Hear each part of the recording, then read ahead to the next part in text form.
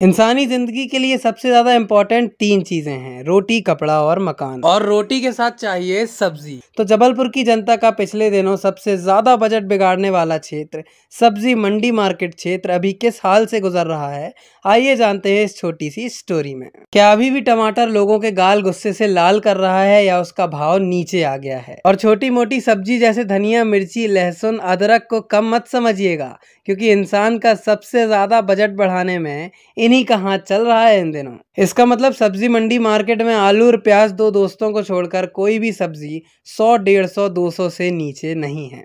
तो आइए जानते हैं कौन सी सब्ज़ी का क्या है रेट और इतनी कम सब्ज़ियाँ मार्केट में होने का क्या है कारण। क्या सब्जियों की आवक हो रही है कम? या दुकानदारों में आ रहा है लालच। और जनता की क्या है राय इस मुद्दे पर? आइए जानते हैं। भैया क्या रेट मार्केट में अभी टमाटर के? मार्केट में सौ से एक सौ चालीस रुपये किलो मिल रहा है। मार्केट में और भी सब्जियों के क्या मतलब रेट वगैरह है? के रेट अभी तो ज़्यादा है।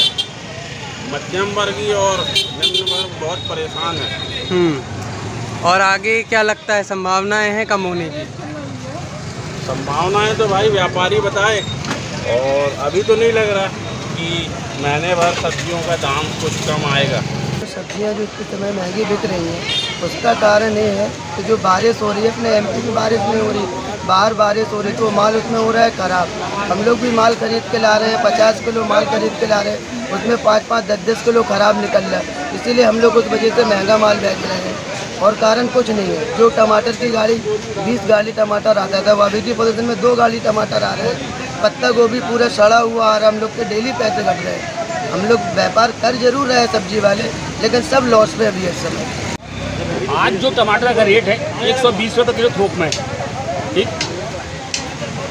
भटा जो तीस रुपये किलो है पत्ता गोभी तीस रुपये किलो है परवल दो सौ रुपये पसेरी चालीस रुपये किलो है।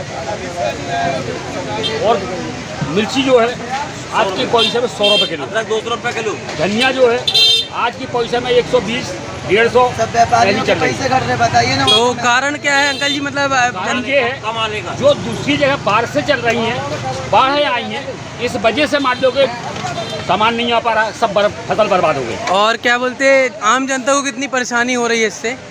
अरे आम जनता को तो परेशानी इतनी कि वो खा नहीं सक रहा है। हम्म। मतलब इतनी महँगाई है। वो वजह उसकी यही है कि बाढ़ों में सब्ज़ियाँ सब नष्ट हो गई।